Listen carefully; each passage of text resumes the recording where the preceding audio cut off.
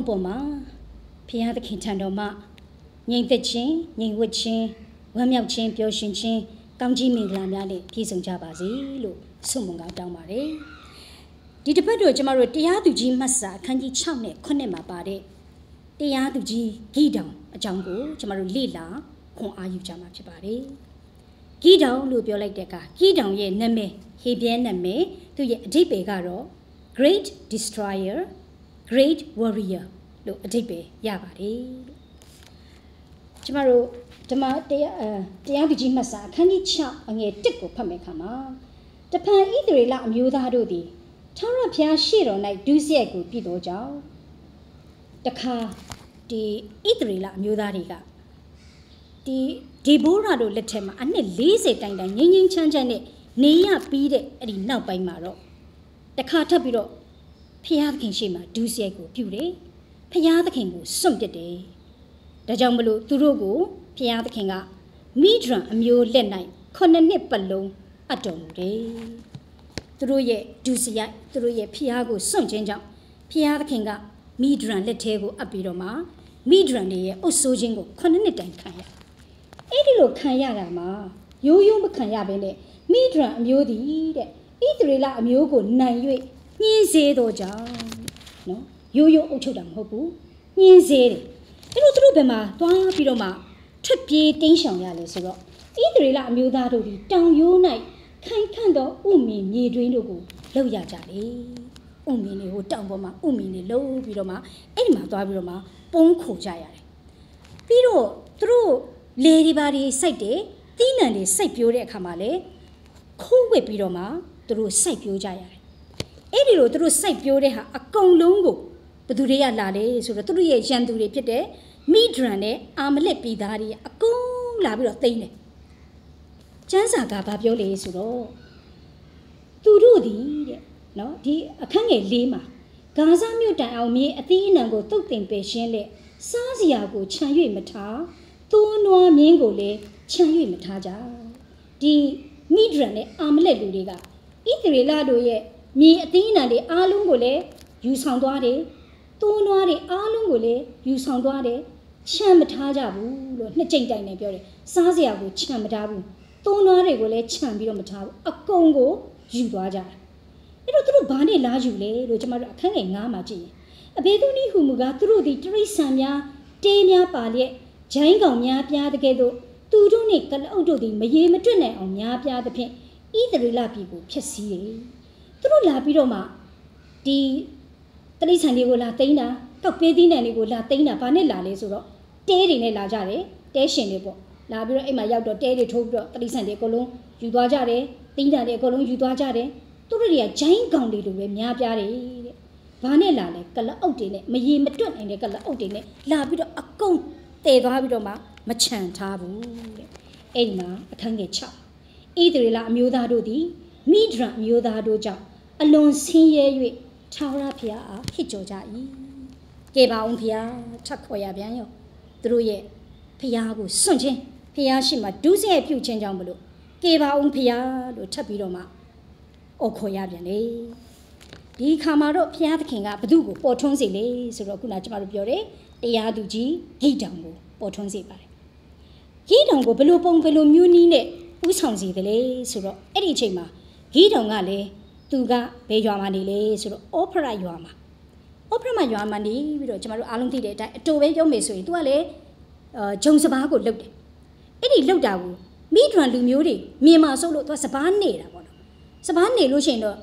လဟပြင်မှာနေရတယ်သို့တော်လည်းပဲရန်သူမိဒွန်လူမျိုးတွေလာတွေ့ပြီးတော့သိမ်းသွားမှာစိုးလို့စပစ်တီးနေတဲ့နေရာနော်ပုံးရှိုးပြီးတော့မှသူကစဘာကိုနေရပါတယ်အဲ့ဒီချိန်မှာတဲ့ဘုရားသခင်ရဲ့ကောင်းကင်တမန်ကလာပြီးတော့မှ ကိုဘလို့ခေါ်လိုက်လဲဆိုတော့ထာဝရဘုရားသည်နော်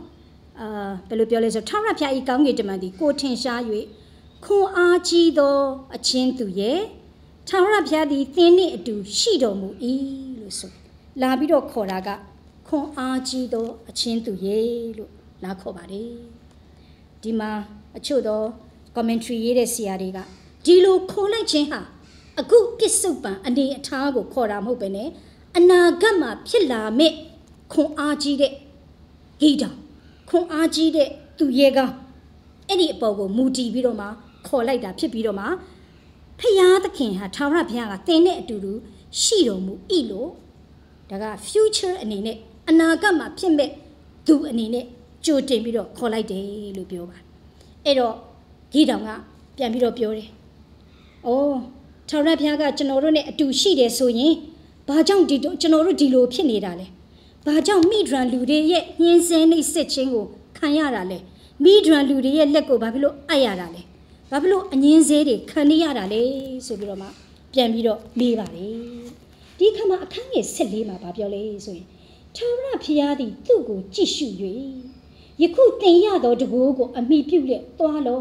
တင်သည်ဣသရေလအမျိုးကိုမိဒရန်လူတို့လက်မှကယ်နှုတ်ရမည် ဖျားသခင်ကခုနကောင်းငင်တမန်လို့ခေါ်ပြီးတော့အခုကတော့ထာဝရဖျားလို့ခေါ်တယ်သို့တော်လည်းဒါသည်တမျိုးတည်းပဲတစ်ခုတည်းပဲဖြစ်တယ်ဆိုတာကိုတွေ့ရပါတယ်အဲ့တော့ထာဝရဘုရားကသူ့ကိုစစ်သူ့ကိုကြည့်လိုက်ကြည့်ပြီးတော့မှစကားပြောတယ်တဲ့ eye contact ပေါ့နော်ထာဝရဘုရားကသူ့အတူတနေရာကိုကြည့်ပြီးတော့မှဂီးတောင်ကိုစကားပြောတော့မှဂီးတောင်မျက်နာကိုတိတိကျကျကြည့်ပြီးတော့မှအေးမင်းကိုအခုငါရွေးလိုက်တယ်မင်းဣသရေလလူတွေကိုကေဖို့ဥဆောင်ဖို့မင်းသွားရလိမ့်မယ်ဆိုပြီးတော့မှတိတိကျကျကြည့်ပြီးတော့မှ စေခိုင်းလိုက်တယ်ဆိုတာကိုတွေ့ရပါတယ်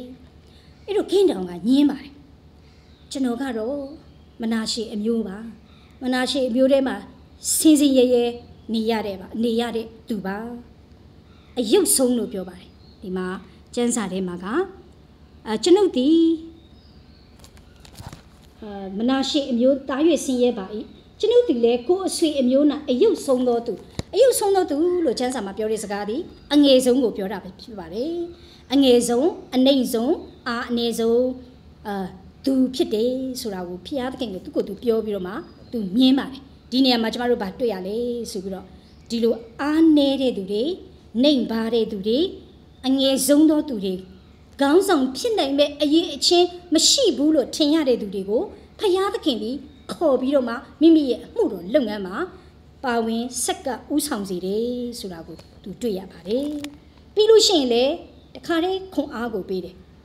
ငါတင်တဲ့အတူရှိမယ်မိဒရန်တမျိုးသားလုံးကိုမင်းဦးစီးပြီးတော့တက်ခတ်ရမယ်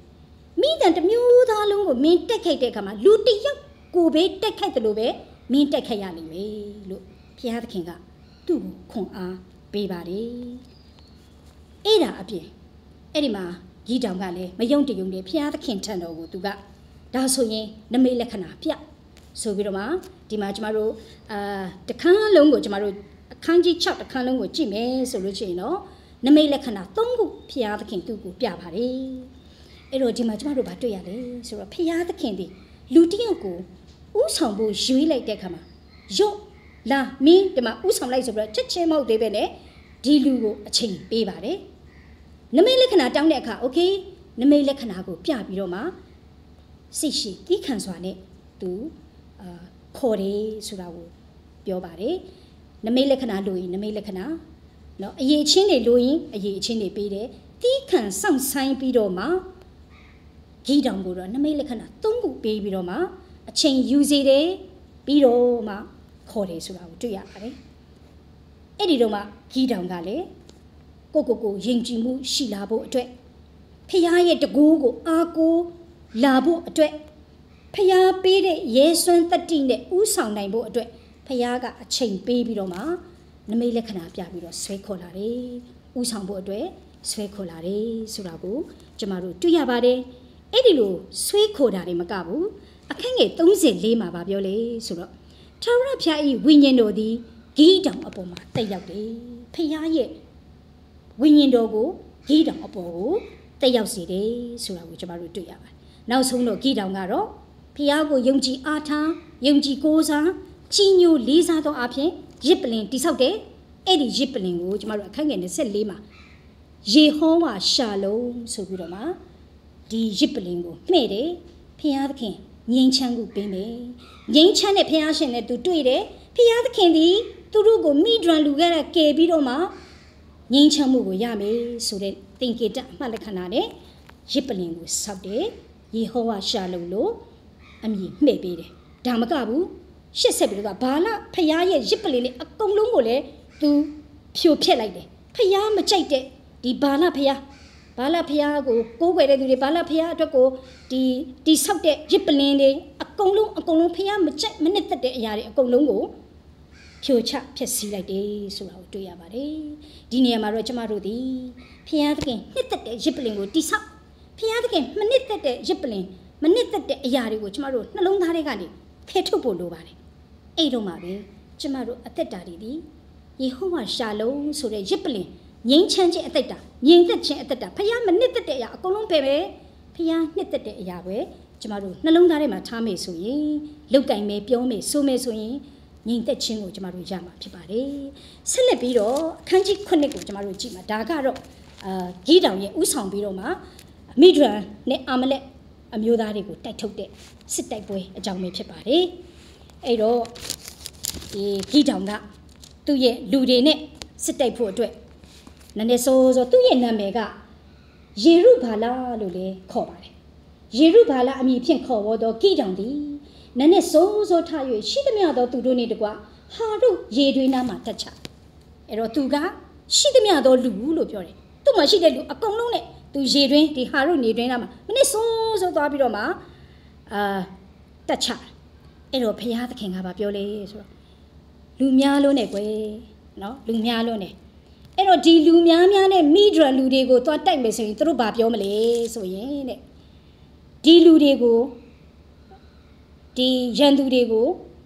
ဒီလူများများလက်ကုံကမအပ်ဘူးတဲ့ဖခင်ကအခန်းကြီးအခန်းငယ်နှစ်မှာအလျင်ဣသရေလအမျိုးကငါလက်ယုံသည်ငါကိုကေတင်ပြီးဟုငါတစ်ဖက်မှာဝါကြွားမယ်အဲ့တော့လူများများနဲ့သွားတိုက်လို့အောင်သွားရင်တော့ဟာငါတို့ငါတို့တိုက်လို့အောင်တာငါတို့တတိရှိလို့ငါတို့ရဲချင်းလို့အောင်တာဆိုပြီးတော့မှကြွားကြလိမ့်မယ်အဲ့တော့ဒါငါမလို့ချင်ဘူးဘုရားသခင်ကလူလျှော့လိုက်ကြောက်တတ်တဲ့လူတွေပြန်ခိုင်းလိုက်လို့ဆိုတဲ့အခါမှာ အဲအဲ့ဒီမှာអော်ပြီးတော့မှကြောက်တတ်တဲ့လူတွေပြန်လို့ပြောတဲ့အခါမှာလူ2000ပြန်သွားပါတယ်အဲ့တော့ဘလောက်ကြံလဲဆိုတော့လူ1000ကြံရစ်တယ်အဲ့တော့အားလုံးလာတာဒီ3200ဖြစ်ပါတယ်အဲ့တော့လူ2000ပြန်သွားတယ်1000ကြံပါတယ်အဲ့တော့ဘုရားသခင်ကများသေးတယ်အဲ့တော့လူစုခွဲမယ်ခွဲပြီးတော့ဘယ်ကိုခေါ်သွားလဲဆိုတော့ရေစိတ်ကိုခေါ်သွားတယ်ခေါ်သွားပြီးတော့ရေတောက်ခိုင်းလိုက်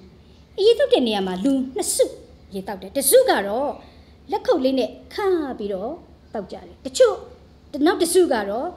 ဒူးညွတ်ပြီးတော့ဝတ်ပြီးတော့ရေကိုတောက်တယ်ဆိုအဲ့တော့ဘုရားသခင်ကဘသူ့ကိုရွေးလိုက်တယ်ဆိုတော့ဘယ်အဖွဲ့ကိုစလက်ခုပ်နဲ့ယူပြီးတော့ရေတောက်တဲ့လူတွေအဖွဲ့ကိုအယောက်300ရှိပါတယ်ဒီ300ကိုရွေးလိုက်တယ်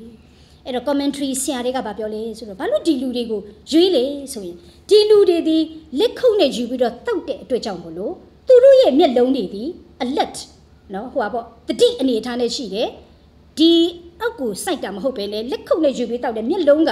ရန်သူဒီဘမှာရှိလဲဆိုတာကိုသူတို့မျက်စိတောက်ထောက်ကြည့်လို့ရတယ်ဟိုတတိနဲ့ကြည့်လို့ရတယ်အဲ့ဒီလူတွေကိုရွေးလိုက်တာဖြစ်မယ်လို့အာ commentary ဆရာတွေတချို့ကပြောပါတယ်အဲ့တော့ဒီလူ300နဲ့เนาะကျွန်တော်တို့တူတူပြောရင်လူလူ300နဲ့သွားပြီးတော့စစ်တိုက်ပါတယ်သူတို့ကိုအာဘာပေးလဲဆိုတော့ဒီလူ300ရဲ့လက်ထက်မှာတဘိုး တယောက်တစ်ခုစီပေးတယ်မီးအိမ်ပါတဲ့အိုးတယောက်တစ်ခုစီပေးတယ်မိခွက်မိခွက်ပါတဲ့အိုးတစ်လုံးစီပေးတယ်ပြီးလို့ရှိရင်အိုးဖို့လေစကားတခွန်းပေးလိုက်ပါတယ်အဲ့တော့သူတို့လူနှစ်စုခွဲတယ်ဂီတောင်နဲ့တစ်ဖွဲ့နောက်တစ်ဖွဲ့အဲ့တော့ညတကောင်ရံဂီတောင်ကပြောတယ်ငါလှုပ်တယ်လို့အကုန်လုံးလိုက်လို့ပါလို့ပြောတဲ့အခါမှာတကောင်တော့ရောက်တဲ့အခါမှာမှကဲတဘိုးမှုတ်ဆိုတဲ့အကုန်လုံးတဘိုးတွေဟူးဆိုမှုတ်ကြတယ် မိအိမ်ပါတဲ့အိုးတွေခွဲဆိုအကုန်လုံးခွန်းခွန်းခွန်းခွန်းဆိုကွဲကြပြီးတော့မှမီးတွေအခါတဲ့အကုန်လုံးထပြီးတော့တက်ပြီးလို့ရှိရင်អော်ရမယ်စကားကထာဝရဖျားနဲ့ဂီတောင်ရဲ့ဓာဆိုပြီးတော့မှអော်ကြတယ်အဲ့တော့တဘိုးမှုတ်တန်ရဲ့အလင်းတွေရဲ့အိုးတန်တွေရဲ့က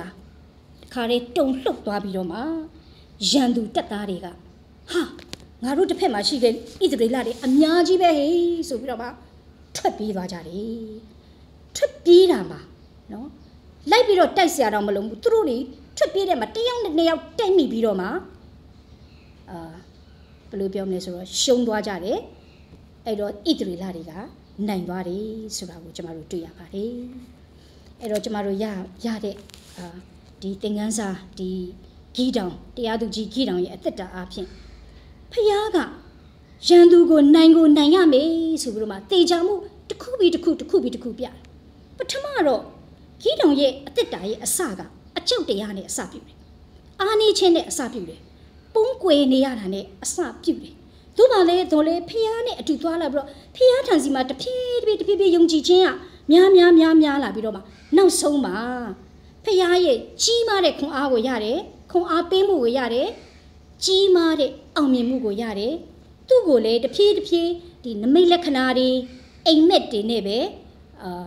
သူ့ကိုဖះသခင်ကတီချမှုတွေတစ်ခုပြီးတစ်ခုတစ်ခုပေးတဲ့အခါမှာ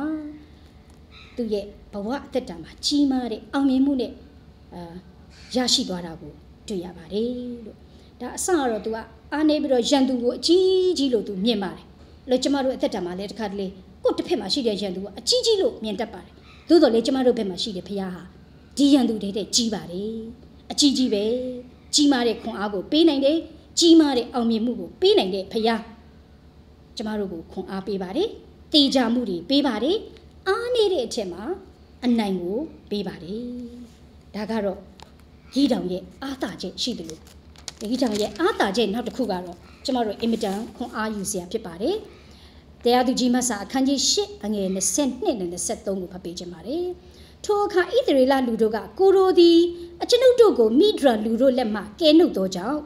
သားစဉ်မြေးဆက်နဲ့တကွအကျွန်ုပ်တို့ကိုအုပ်ဆိုးတော်မူပါဟု ဂီတော်မှာရှောက်ဆိုတယ်အဲ့တော့ဣသရေလလူများဟာဂီတော်ခမည်းကကျွန်တော်တို့ကိုဒီရန်သူမိဒရန်လက်ထက်ကကဲတဲ့အတွက်ကြောင့်မလို့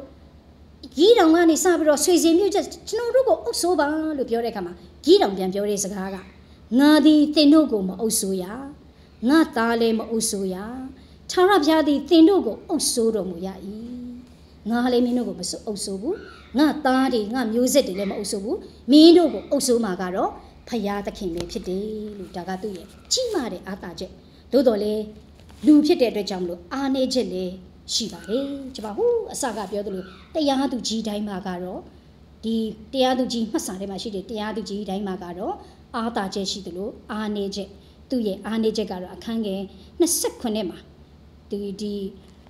ဣသရေလအမျိုးသားတွေကိုဒီတင်တိုင်းတော်နဲ့မှားယွင်းအောင်လို့လုပ်တယ်ဆိုတဲ့ ဒီအားနေချက်ကိုကျမတို့တွေ့ရှိရပါတယ်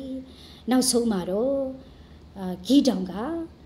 ဂီတောင်လက်ထက်အနှစ်40တိုင်တိုင်တပြီလုံးငြိမ်ချမ်းတယ်လို့ဆိုပါတယ်လို့အားလုံးပဲဖះရှင်ကောင်းချီးပေးပါစေအာမင်